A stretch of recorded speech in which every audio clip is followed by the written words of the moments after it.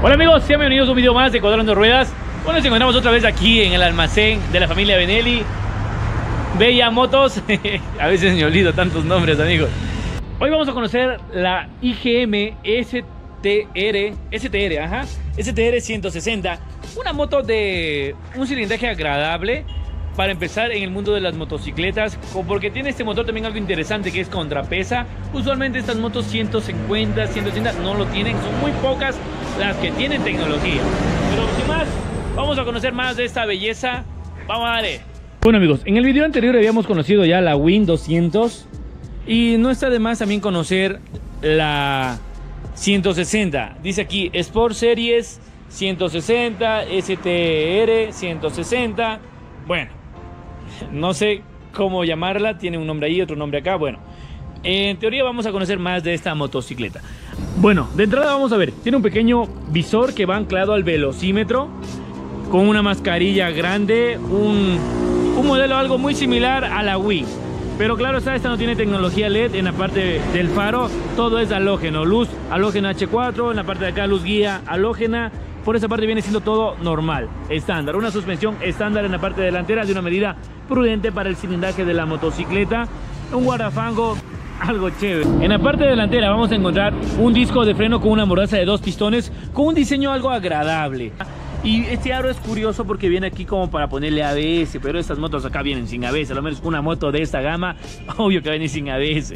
En la parte delantera vamos a encontrar lo que es una llanta 80, 90, 17, una llanta un poquito delgada, yo recomiendo una 90, 90, 17. Esta llanta tiene lo que es tubo por defecto, aquí tiene lo que es la perilla, quita lo que es el tubito, ¿sí? Tiene por, por defecto lo que es tubo. Recomiendo ponerle una tubular, una radial, cambiar las llantas. Eso sí, casi en todas estas motocicletas recomiendo cambiar de llantas por unas de mejor calidad, donde eh, tu seguridad esté 100% segura. Vamos a ver.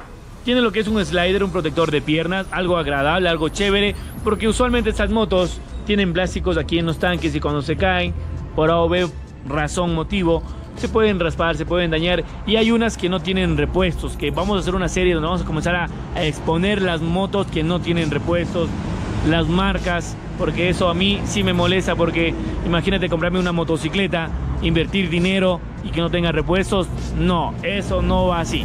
Bueno, me gusta estos cobertores de tanque que te ayudan a romper el viento y a desviarlo al motor. El tanquecito es grande, se llena con 3 galones y medio. El slider, como decía, tiene la parte de acá. Algo chévere y el detalle que le han puesto es esa válvula de euro y cromadita chévere que hace resaltar. Vamos al motor. El motor es un motor de 160 y, perdón, 159 centímetros cúbicos.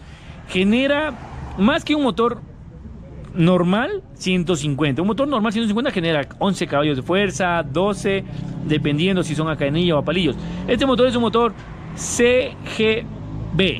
Sí, es un motor CG a palillos, pero con contrapesa. Sí, contrapesa externa. Algo agradable porque la vibración del motor no va a ser excesiva. Nos va a ayudar a que el motor sea más sereno, tenga mayor durabilidad. Algo agradable por esa parte. Donde les iba a decir, un motor normal CG tiene 11 caballos, 12 caballos de fuerza, pero este como ya es un motor que tiene mayor cilindraje, 159 centímetros cúbicos, genera un poquito más de fuerza. Casi como el motor eh, GS, ese motor GS de la Motor 1 GNE 151, casi la misma fuerza. Estar atentos, ¿por qué? Porque uno es a cadenilla, claro, es a palillos. Genera 13 caballitos de felicidad. Atentos con estos datos, 13 caballitos de felicidad, que es algo agradable para esa pequeña cilindrada. Un carburador PZ26, tiene lo que es un árbol de levas, dos válvulas, 5 velocidades estándar, contrapeso en el cigüeñal y te genera 13 caballitos de felicidad. De ahí todo va bien, encendido eléctrico en la parte de arriba, que tiene lo que es del pedal, la patita de freno, todo viene ya siendo estándar en estas motocicletas.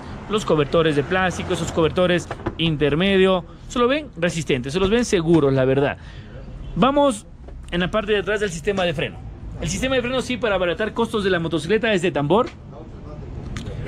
Veámosle el sistema de freno, también de una vez la llanta, la medida de la llanta tiene que ser una medida normal. Es 110 80 17 para este motor para el cilindraje.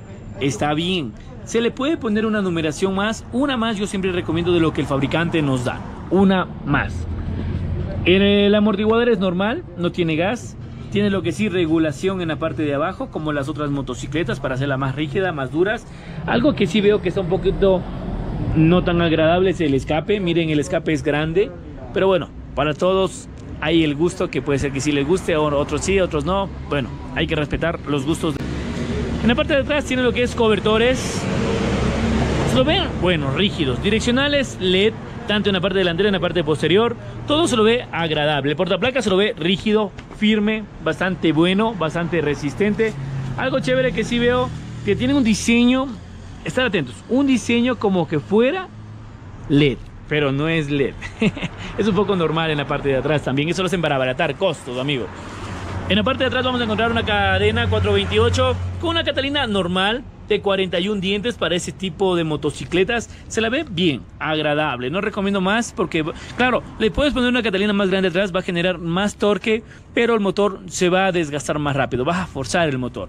Algo curioso que me iba a olvidar es que tiene un basculante multitubular, diseño italiano, diseño italiano.